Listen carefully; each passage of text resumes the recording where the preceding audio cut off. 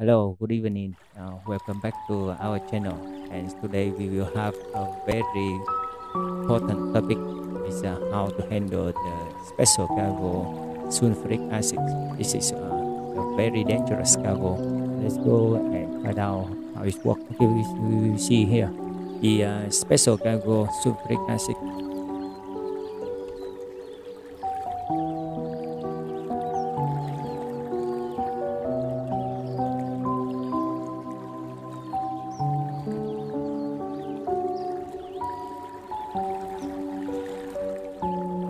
This is a very good stainless steel tank. And, and now we will load the sulfuric acid like this.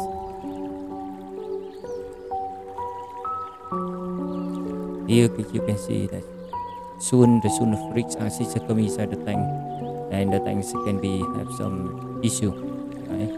Here you can see that the tank is can be you know, expanded or ruptured due to high density and overpressurized.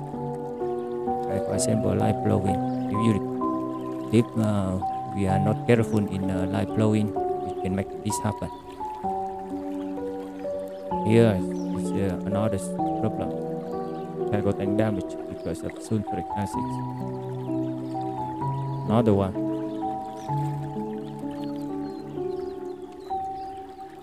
And some people is is they uh, they do slop the sulfuric acid and seawater together inside the stainless steel tank, and the consequences is uh, you can see like this.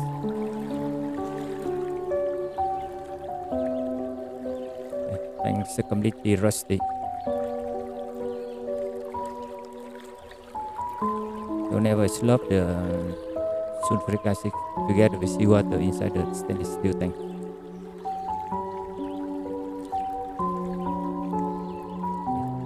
Picture. You can see it. It's completely damaged It- you can see it's closer a little bit. All the stainless steel is uh, destroyed. Right, the cargo pump have been destroyed as well. This one is the cargo pump. Okay, the heating coil is, is, is uh, have been eaten. Damaged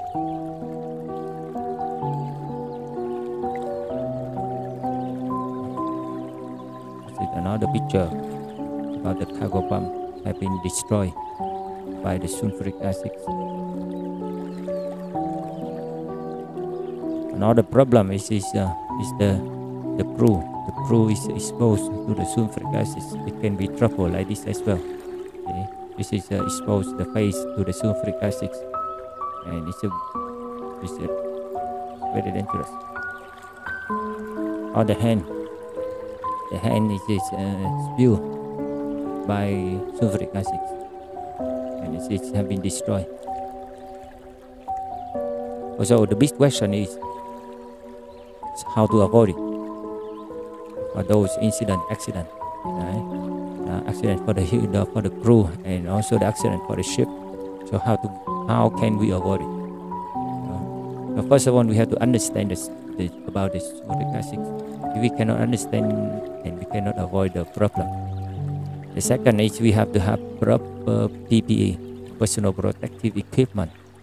The third one, we have to you need to understand the, the MFAG, the the medical first aid guy, or to, to have proper treatment for the crew exposed to the sulfuric acid. The fourth one is uh, we need to strictly follow the loading and unloading special procedures, and those procedures we will uh, discuss uh, below in the next slide. And the last one, we need to have the good care about tank cleaning. We need to have properly tank cleaning procedures. This is a five element, five uh, step we have to do it. So it's number one, understand about the sulfuric acid. So the the first thing is, is the, the formula. The formula. This is the formula. The second thing is the appearance. This is the color, colorless. It doesn't mean no color, no color. Well, the next one is the density. Density is very high. It's very heavy liquid. is uh, one decimal five six to one decimal four eight four. The third one is boiling point. Right, vapor density also very he- heavy, three decimal four. One of the most important is its uh, solubility in the water, complete. Okay, it's uh, the acid uh, sulfuric is uh, will not burn.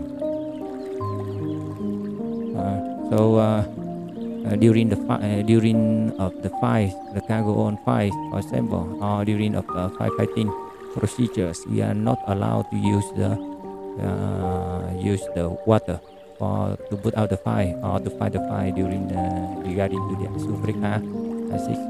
This one is important, and we have to to make sure that we understand this. Uh, about another an, another issue is here is uh, is uh, about the skin, uh, very irritated skin, and also very injury to the eyes. Another one is we uh, mentioned about is uh, the TLV, uh, the around 100, the TLV around 100 to uh, 500 PV ppm. This is the TL TLV. The next one we have to focus is the uh, medical first aid guide, and this one is very important in case the crew have problem or issue. We need to we need to refer to the the MFAG. And this is one of the example how to use uh, the MFAG. This is the MFAG, and this is an example how to use it. So here the emergency action. Uh, in case the crew have the trouble with the the, the sulfuric acid and we have to go to we have to refer to the the, the MFARS and know how to use to use this. So here is the guidelines step by step for the crew.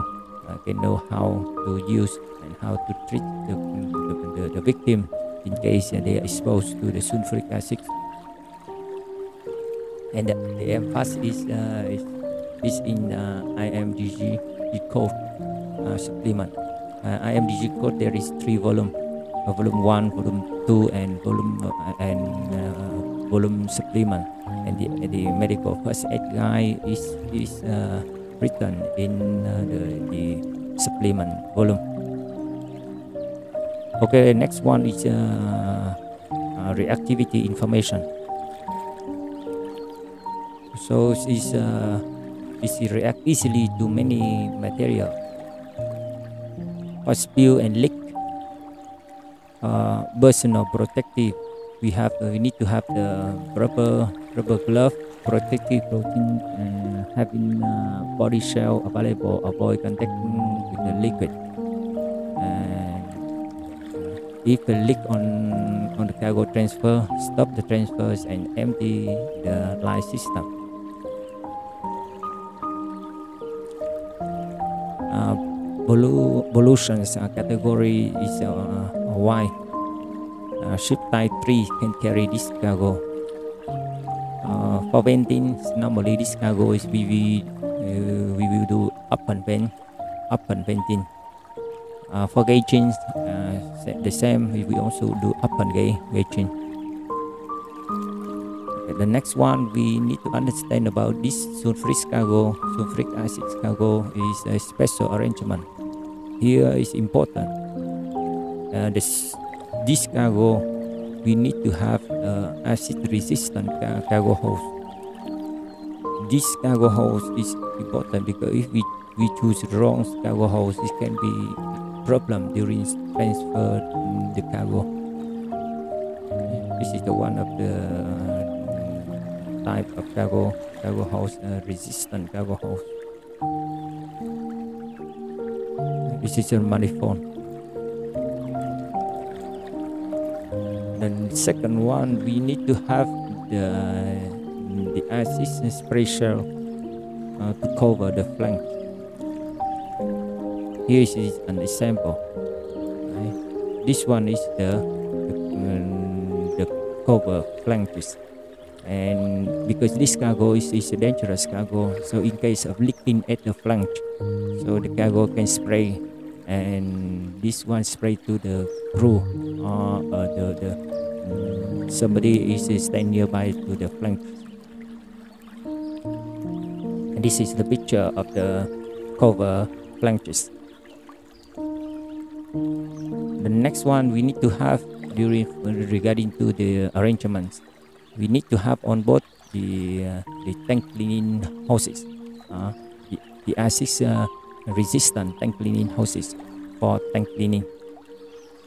This is the, the, the good type for tank cleaning hoses resistant. This is another type but this type is be careful with this rubber hoses many type of rubber hoses is not uh, supposed for to use for sulfuric acid. So before we use uh, the the the rubber hose for um, tank cleaning the acid sulfuric, we need to check it out the, manual uh, to make sure that the this type of the, the hose is uh, is resistant resistant tank cleaning hoses before we would use in practical. Then next one is that we need to have the sufficient PPE for the crew. We need to have the sufficient uh, PPE for the crew involved. That means those who's working with uh, cargo handling or cargo transferring. And the PPE we need to focus on uh, first is the facial to protect the face, the chemical glove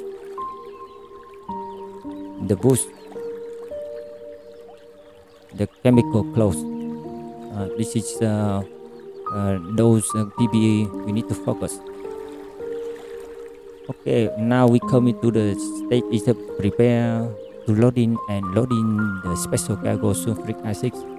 For preparing to load the sulfuric acid should carry carry in the stainless steel tank. Right in case the sulfuric acid is uh, carried in the mild steel tanks. Mm, the uh, mm, special permits from the class must be approved. Right that means you need to have approval from the class.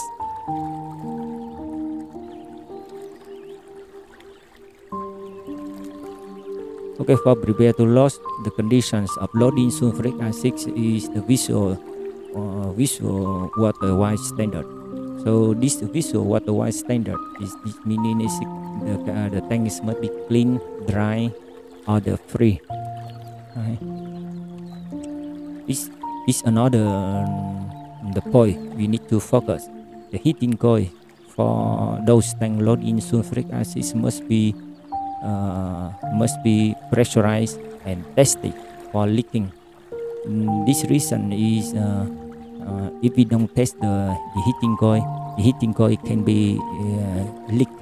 And when you have the cargo is uh, in it, and the cargo will mm, come inside the heating coil, and the heating coil this contains some water inside, and it will start uh, reacting, uh, and this is this create big trouble for the tank uh, during loading. So after test, we need to blow empty and dry with the nitrogen uh, as the best option. If we don't have the nitrogen enough on board, we can use the uh, dry air to blow out. Uh, tank must be dry before loading is permitted.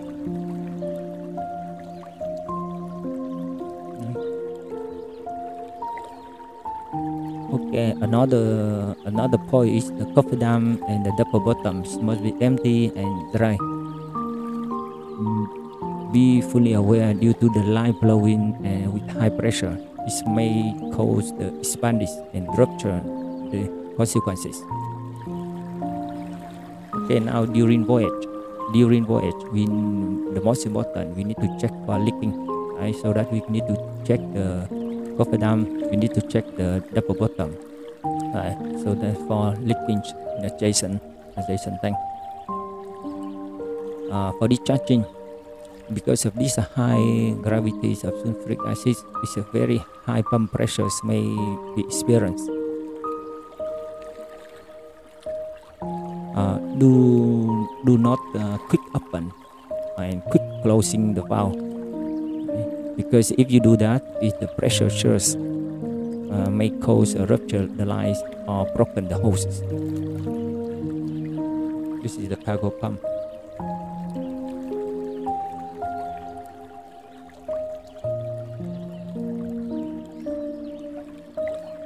After we uh, finish tank uh, finish uh, discharge in the cargo we will tank cleaning. And during tank cleaning there is some point we need to focus and and we need to avoid. First uh, the uh, sulfuric acid uh, around 70% concentrations attack the steel rapidly. Uh, so the, and when the, they attack the steel they will generate in the temperature. Uh, uh, if the tank is clean with the inadequate uh, quantity of water, so it, right, another point is uh, you when, we start cleaning, we need a lot of water, right? Uh, a huge quantity of water to put inside inside the, the, the sulfuric acid uh, tank because the acid will become very hot. And the second thing is uh, when cleaning, when cleaning, the fresh water should be should be used as the cleaning medium. This is very important. During cleaning, the cleaning we have to use uh, preferably fresh water should be used as the cleaning uh, medium. This is very important point. Uh, in case we have not enough uh, fresh water on board, so a large amount of seawater must be used and added into the tank. Uh, sulfuric acid uh, slug should normally not not be kept on board. This point is very important. The problem is the tank is rusted, or we can say it is corrosive and become rusty. And like a picture at beginning, we can see that because of we slop the acid and we keep it on board for many days. So if we add in uh, the water to acid and this reacting can release the hydrogen gas.